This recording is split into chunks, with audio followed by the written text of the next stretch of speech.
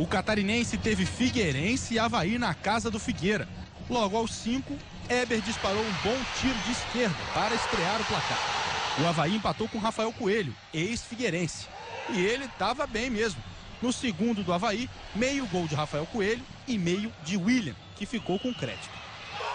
Mas os donos da casa deixaram tudo igual de novo com Wellington de cabeça. Final 2 a 2. O Figueirense é o primeiro, o Havaí é o nono de 10 clubes.